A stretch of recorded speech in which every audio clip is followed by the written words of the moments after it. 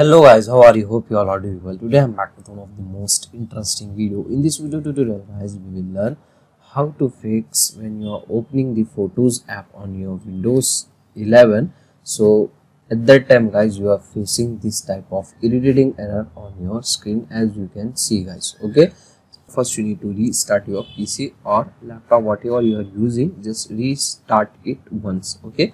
After restarting now hopefully this time it will fix your problem. Still in case you're facing same type of problem you can try this next method. Now you need to open the task manager on your pc to open the task manager you can use the shortcut key.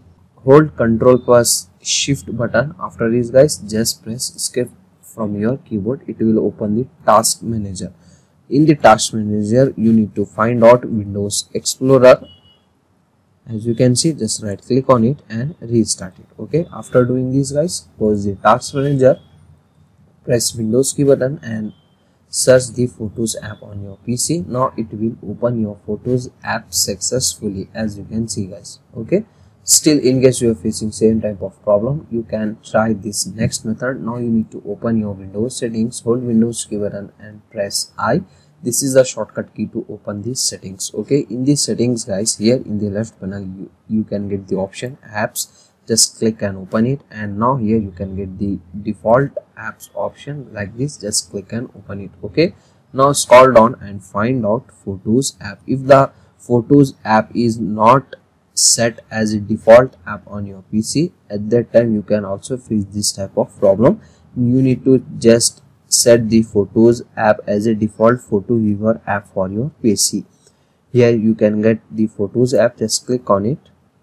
From here you need to find out jpg png uh, jpeg format all this image file format and set the photos app as a default app. After doing this guys now it will fix your problem. Still in case you are facing same type of problem guys now what you need to do you need to reset and repair the photos app on your pc to do this guys same in the windows settings go to apps once again and here you need to find out apps and feature option. As you can see just click and open it now scroll down and find out microsoft photos app is here. Just uh, click on three dots go to advanced option. Here you can get the option reset and repair. As you can see guys scroll down. Here you can get the both option reset and repair.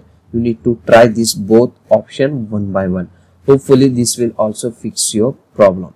So these are the easy and simple solutions to fix the problem. Still in case you're getting same type of problem now you need to update your windows. To update the windows in the settings in the left panel here you can get the option windows update.